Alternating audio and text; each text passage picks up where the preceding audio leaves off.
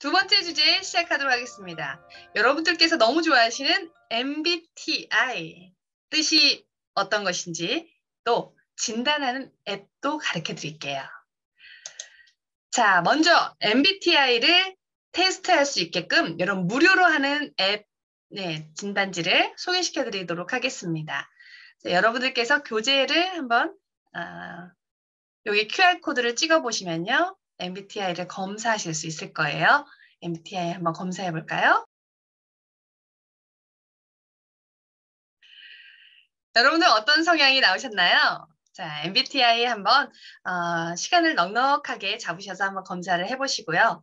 MBTI가 무슨 뜻인지 궁금해하시는 분들이 있으세요. MBTI는요, 사람의 아, 이름이 들어간 음, 그런 얘기예요.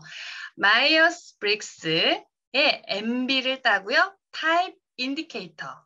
네, 마이어스 브릭스가 만든 성격의 인덱스란 뜻입니다. 심리학자 융에 의해서 선천적인 마음의 경향성, 선호 이런 부분들을 어, 좀더 체계화한 그런 도구예요. 성격이라는 것은요, 나도 모르게 추구하는 어떤 그런 품성, 성질이에요. 그런데 정말 조심해야 될 게 있습니다. 이 MBTI 좋은 성격, 나쁜 성격 구분 짓는 것 자체가 위험할 수 있어요. 전혀 좋은 성격, 나쁜 성격 있을 수 없고요. 단지 다를 뿐입니다. 그래서 진단을 할 때 조금 조심하셔야 될 부분 조금 얘기를 말씀을 드릴게요. 먼저 첫 번째 이렇게 선택을 하면요. 뒤에서도 일관성을 유지하려고 하는 사람의 습성이 있거든요. 일관성을 무시하셔야 돼요. 또 하나는 이 MBTI를 그대로 내 거 성격을 완벽하게 내 성격이야 라고 받아들이시면 어, 안 됩니다. 여러분들 이 16가지는 임의적으로 이렇게 구분을 해놨고요. 또 그 안에서도 얼마나 선호지표가 어, 강하냐 약하냐에 따라서 전혀 다르게 또 보여지기도 해요.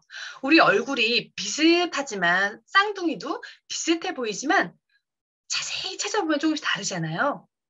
성격도 마찬가지입니다. 이 16가지로 나눈다는 것은 어, 하나의 그 구분 짓는 인덱스로 그것을 바라봐야지 내 성격을 전부 다 대변하는 것으로 어, 세, 판단하시면 오류가 생길 수 있어요. 자, 그래서 여러분들께서 우리가 다른 사람과 나를 이해하는 tool로 사용해야지 이것을 판단의 도구로 사용하시면 띠 안 된다는 말씀 드리고요. 이거는 도와주고자 하는 용도로 우리가 성격 진단을 하는 것입니다. 자, 마트에 갔을 때 어떤 대로 내 발이 먼저 떨어지세요. 어떤 분은요, 이 향기, 향기가 나를 너무 이끌게 해요. 또 어떤 분은 되게 특이하신 분 있었어요. 건강, 기능, 상품 또는 내가 적어 놓은 걸로만 간다 라고 하신 분도 있고요. 어떤 분은 내가 세일하는 코너를 먼저 가고 나서 다른 곳을 갑니다. 라고 하시는 분도 있어요. 이렇듯이 내 첫 발을 움직이게 하는 거, 나를 이끌어가는 거, 이것이 바로 선호라는 부분이에요. 내가 먼저 좋아하게끔 되어지는 부분들이라는 거죠. 자, 이 선호에 의해서 이 네 가지 선호에 의해서 MBTI 융의 심리에 따라서 어, 결정 짓는 것이 바로 MBTI입니다. 먼저 E, 네, 이 I는요 에너지의 방향, 네, 여기 영어의 앞자를 따서 이렇게 구분 짓고요. 그다음 정보를 받아들이는 거, 인식. 나는 어떻게 정보를 받아들이는지. 어떤 사람은 센싱, 감각적으로 받아들이고요. 아니야, 내 어떤 직관, 상상력으로 정보를 받아들여. 직관, 아이고요. 그 다음, 그래서 받아들인 것을 판단하는, 내 나름대로 결정을 하는 판단하는 기능을요. T, 사고, F, 감정. 나는 감정으로 어루만지는 사람, 판단으로 하는 요소. 예, 이런 분들은 F.